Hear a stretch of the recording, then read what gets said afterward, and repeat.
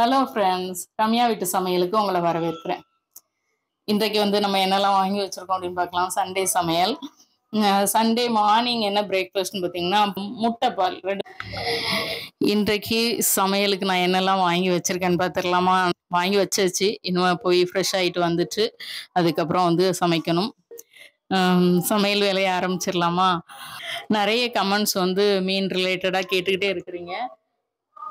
நிறைய கமெண்ட்ஸுக்கு ரிப்ளை பண்ணிட்டு இருக்கேன் ஓரளவுக்கு ஷார்ட்ஸாக கொடுக்குறேன் அப்படிலாம் வீடியோஸாக கொடுக்குறேன். சிலதுக்கு வந்து கமெண்ட்லேயே நான் கொடுத்துட்டு இருக்கிறேன் சிலதுகளுக்கு கொஞ்சம் பிக்சர்ஸ் கலெக்ட் பண்ண வேண்டியிருக்கனால வெயிட் பண்ணிட்டு இருக்கிறேன் கண்டிப்பாக வந்து எல்லா கமெண்ட்ஸுக்குமே நான் ரிப்ளை பண்ணுறேன் இப்போ இன்றைக்கு சண்டே சமையல் பார்க்கலாம்.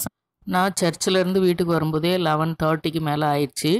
நான் அதனால் மெசேஜ் பண்ணியிருந்தேன். சரி ஓகே நான் வர்றதுக்கு லேட் ஆகுன்றதுனால ஒரு அரை கிலோ மட்டனும் அரை கிலோ சிக்கனும் வாங்கி வைங்க சாம்பார் வச்சுக்கலாம் அப்படின்னு சொல்லிட்டு. ஏன்னா எனக்கு த்ரோட் இன்ஃபெக்ஷன் இருந்தது கொஞ்சம் ஃபீவரிஷாகவும் இருந்தது.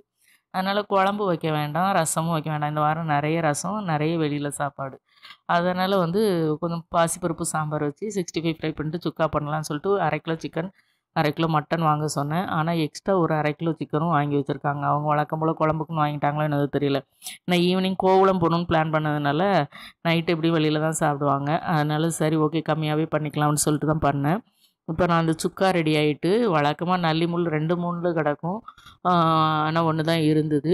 அப்புறம் அரை கிலோ சிக்கனை தூக்கி நான் ஃப்ரிட்ஜில் வச்சுட்டேன். நான் அவ்வளோ ப்ரிப்பேர் பண்ணால் வேஸ்ட்டாக தான் போகும் அப்படின்றதுக்காக அதை இன்னொரு நாள் ப்ரிப்பேர் பண்ணிக்கலாம்னு அரை கிலோ சிக்கனை உள்ளே தூக்கி வச்சுட்டு நல்ல ஒரு சுக்கா மட்டன் சுக்கா ப ப்ரிப்பேர் பண்ணிவிட்டு பாசிப்பருப்பில் ரொம்ப எண்ணெய்லாம் விடாமல் மைல்டாக ஒரு சாம்பார் காரம்லாம் எதுவுமே போடலை. ரெண்டு மிளகா தான் அரைச்சி போட்டிருக்கேன்.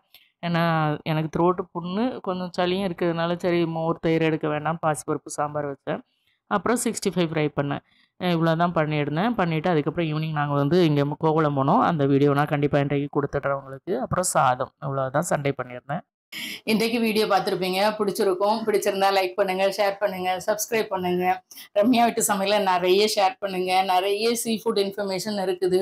நிறைய பேருக்கு தேவைப்படும். உங்க ஃப்ரெண்ட்ஸ் யாருக்கெல்லாம் சீ ஃபுட் பிடிக்குமோ அவங்க எல்லாத்துக்குமே ரம்யா வீட்டு சமையல ஷேர் பண்ணுங்க.